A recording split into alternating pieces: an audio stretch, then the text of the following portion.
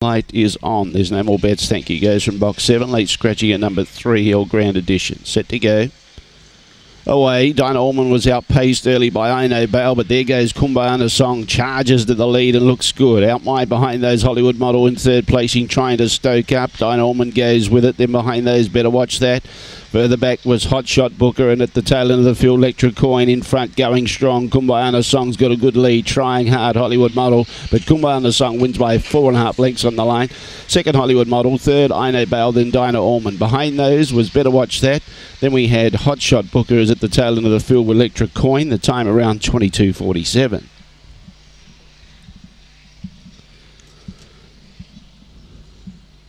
Four ten two, the judges' numbers. 4, 10, 2 and 1. Number 5, Better Watch That, gets up for fifth. Four lengths the winning margin. 22.47 the time.